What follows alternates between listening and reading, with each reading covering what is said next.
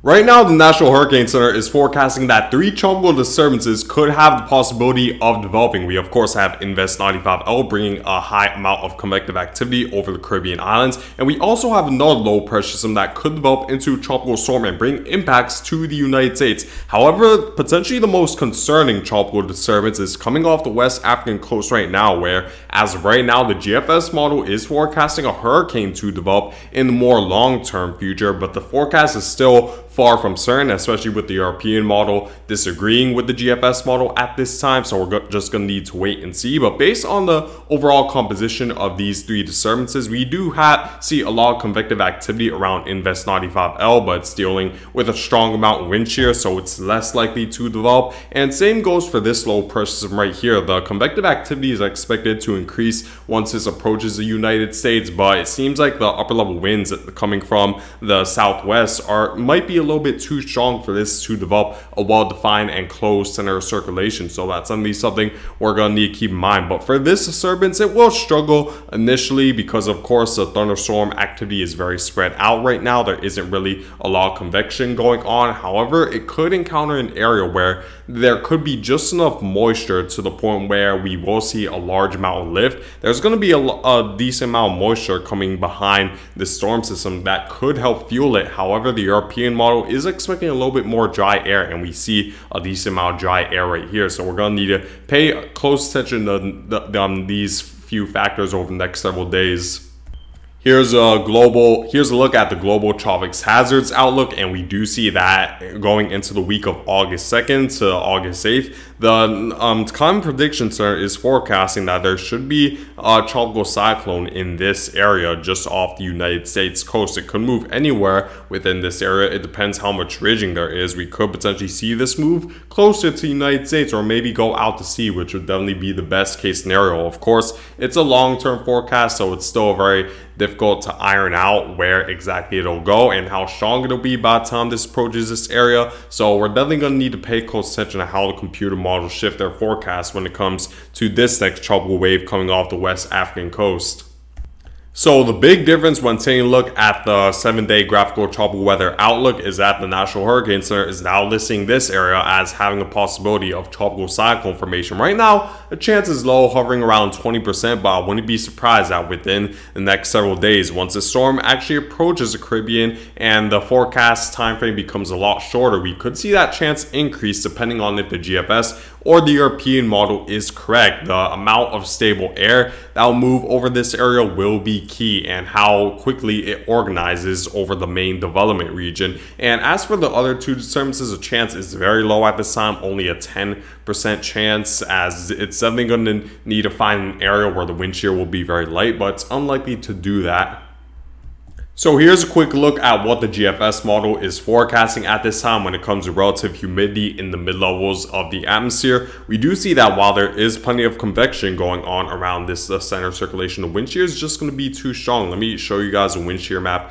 real quick and we do see that there's a strong upper level low located just to the north of Cuba and a strong upper level high located right over the Gulf of Mexico and that's definitely going to bring a very strong amount of wind shear over the Caribbean. So although there's a lot of convection it's just going to disorganize the storm and the wind and the strong upper level winds will diverge. A lot of the air molecules from converging around the center of circulation so we aren't really going to see this storm um, we're going to see this storm become very lopsided to a point where the energy will be very spread out and the heat engine around this storm won't be very efficient to support for a lot of convection. So as a result, we're less likely to see the storm develop. And same goes for this low pressure system right here. We see that the wind shear does not die down. There is uh, there is a small upper level low located just to the north of this storm system, and we're but we're seeing strong northerly upper level winds, and this storm is trying to move at, um to um towards the north. So the wind shear is definitely much stronger, and it's unlikely to develop thanks to how strong this wind shear is. But you still should expect heavy rain over the coast of the southeast, um, as we see in the relative humidity map. We do see that um, the moisture eventually approaches um, the southeast coast. Um, And we do see very heavy rainfall right around the Friday to Saturday timeframe for much of Florida. I wouldn't be surprised if you guys experience flash flooding. And even moving to the Caribbean with Invest 95L, there's plenty of rain. And I'll say the worst of rain will be um, later today um, and into tomorrow for Puerto Rico and approaching the Dominican Republic right around Thursday um, and Haiti um, around that time frame as well, where you could expect anywhere from one to three inches. So, and of course, in the higher elevations of these islands, you could see the potential of flash flooding um, with some of these smaller thunderstorm clusters. So you definitely want to be aware that if you live in a very flood prone area, and same goes for Jamaica. But moving on to our next tropical disturbance, which has me a little bit more concerned today, is due to the fact that the GFS model not only wants to strengthen this into a tropical storm as early as early next week, right around the Monday timeframe. But we see this become a monster of a storm with its pressure dropping down to the 950s just to the north of the Caribbean islands. And it would, this will definitely be a category three at this point. And the reason why is because we do see there's plenty of moisture surrounding this storm system. And there isn't a lot of dry air that would slow this storm down, unlike the European model, where the European model is expecting a lot more dry air just to the west of this storm storm. Um, and the amount of dry air will really all depend on um, how much of this moisture will move northward because that will certainly be key. Um, we're not sure um, if there's going to be as much convection as GFS model is forecasting. That really all depends on how much this moisture is able to move northward. The European model is expecting a stronger amount of easterly winds, which would bring a lot of Saharan dust over this area for a more stable environment, and it would fizzle this storm out. But the GFS model is disagreeing. It doesn't expect the um, lower level winds to be as strong from the east, and that allows the storm to have an open area to intensify. And though, and while there is a decent, um, decently strong upper level winds just outside of the center circulation. The center circulation is in, embedded in a small area where the wind shear is relatively light and outside of this storm, the outflow would definitely increase. Let me show you guys the forecasted wind shear map right now. We do see that there are strong upper level winds surrounding the center circulation. However, the upper level winds could help this storm because it'll improve the outflow and ventilation of this storm in the upper levels, which means that there's going to be less air molecules in the upper levels, so more air molecules could rise. And of course, with a higher amount amount of rising motion along the surface, that would lower the pressure and increase the wind speed for this storm to be much stronger and increase the amount of convection in general to be much stronger. So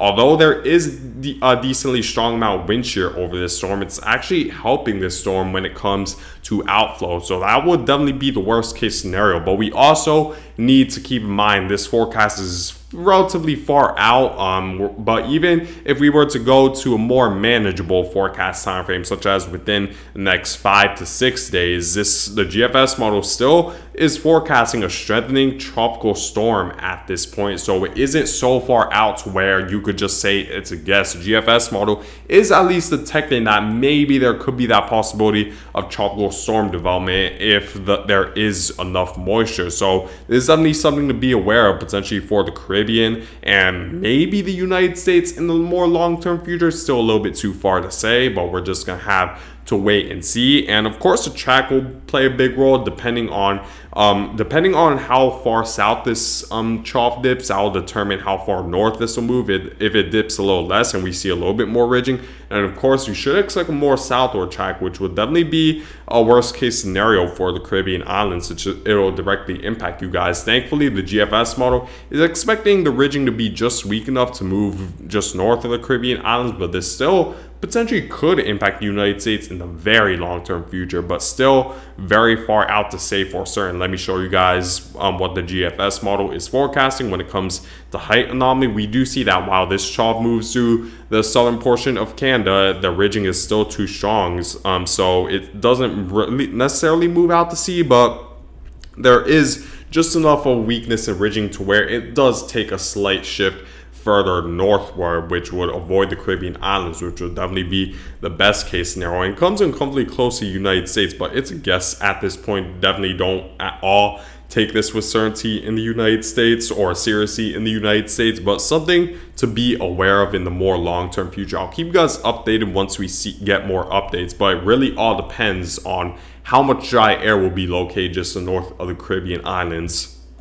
In terms of what the European model is stating, the European model, at least for these first two potential tropical cyclones, is forecasting a very similar fate. It seems like the wind shear will be too strong for both of these tropical disturbances to have a high chance of developing, but still expect heavy rain anywhere from one to three inches or potentially more in some localized areas over the Caribbean, as well as portions of Florida as we approach the weekend. But into this disturbance, we do see that the dry air is just a little bit too much. And the reason why is because the European model doesn't expect the, the moisture to be as broad. It doesn't expect um, this area of moisture to move northward enough to uh, mitigate the amount of stable air that we're seeing and moisten up the air mass right over this area. So as a result, it just sort of struggles in the um, right in the midst of dry air, and we see a strong amount of easterly winds that it's continuing to bring the dry air, and we do see that this trough dips down deep far south enough to where it moves out to sea, and that would certainly be the best case scenario, since not only would this upper level, not only would this trough dipping down would steer this away from land, but it'll enhance the wind shear to a point where it'll be difficult for this blob of moisture to organize once it really gets caught up in this dip in the jet stream. So definitely something to pay close attention to. We also, we definitely need to be aware that the GFS model does um, typically a, a, lot more than the European model takes fantasy type storms um, where they grow into just massive um, into massive entities a lot more quickly than they should. So this could be another one of the biases of the GFS model. But at the same time, we can't completely disregard the GFS model either. It's still a very reliable model. So the uh, so we're definitely to need to pay close attention to the amount of stable air right over this area. So here are what the um, ensemble members are stating at this time. We do have a decent amount of ensemble members wanting to strengthen this storm quite a bit to nearly or slightly above hurricane status from the GFS model scenario. However, I'd take it with a grain of salt. Um, it doesn't seem like the ensemble members are updated based on the latest information. We're gonna need to wait and see, um, depending on how far south this um, trough dips to determine the exact track and strength of this storm. So take the ensemble members, at least for right now, with a grain of salt. But at least for these next two tropical services, it does seem like any ensemble members want to develop it into a tropical um, cyclone, which would certainly be good news. And I'd take it with more um, validity, at least for these two disturbances, because they're a lot more in the short term future than this um, tropical wave right here. So take it with a little bit more of a grain of salt.